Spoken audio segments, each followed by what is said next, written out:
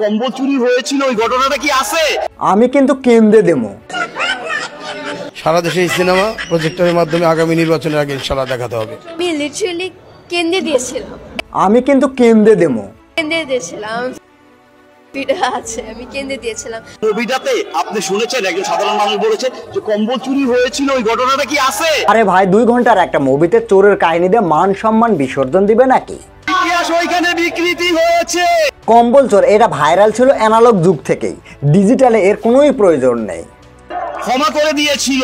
শেখ হাসিনা যে আইন করে আবার তাদের বিচার করেছে ওটা উঠিয়ে এনেছে। সিনেমাটা দেখে মনে মনে সেট করে নিও। আর যা যা অভিযোগগুলো আপনি করলেন তা মনে হয় আপনার উইথড্র করা উচিত। কারণ সিনেমাটি তাদের। আর তারাই কি তাদের চরিত্রগুলো খারাপ দেখাতে চাইবে? বরঞ্চ আপনি মুজিব সিনেমাটি পুনরায় নির্মাণ করুন। আর আপনার অভিযোগগুলো মিলে মুজিব সিনেমাটার পূর্ণতা দেন। আপনি কাকে বিচার দিচ্ছেন অযথা? কম্বল চুরি হয়েছিল ওই ঘটনাটা কি আছে? ওনারা কি পারবে বিচার করতে? শুধু শুধু গলায় ব্যথা হবে আপনার। বরঞ্চ দেখুন জাতির পিতাকে কেমন করে অন্তর দিয়ে ভালোবাসতে হয়। আমার জননেত্রী শেখ হাসিনা এত জ্বালা বুকি নিয়ে আমি কিন্তু এবার সত্যি সত্যিই কায়দা দেবো।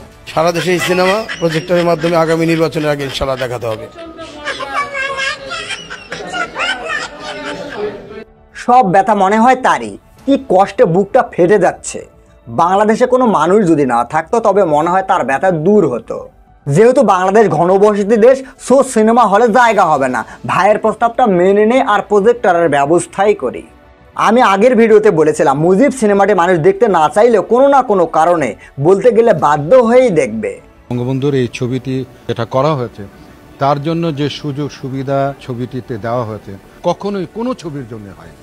কাঞ্চনদা আবার কি বলে? আপনারা আগে মুজিব কিংবা হাসিনা ম্যাডামকে নিয়ে কি কোনো সিনেমা বানিয়েছিলেন? যে এত অনুদান দিবে? বানিয়েছে ভারতের পরিচালক। ভারতেই বায়োপিকের গুরুত্বটা ভালোভাবে বোঝেন। আপনারা বোঝেন না। হতাশা আপনাদের জন্য।